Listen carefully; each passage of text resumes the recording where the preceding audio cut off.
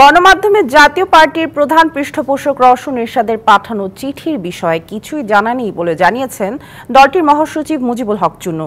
রাজধানীর বনানীতে দলের কার্যালয়ে সাংবাদিকদের তিনি জানান, পার্টির চেয়ারম্যানের কাছেও কোনো চিঠি আসেনি।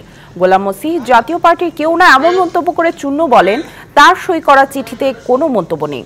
রওশন এরশাদের চিঠি হাতে পেলে অবশ্যই মূল্যায়ন করা হবে।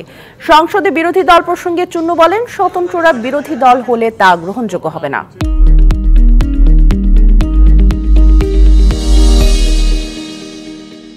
পাইলে চিঠি কি ভাষা কি ল্যাঙ্গুয়েজ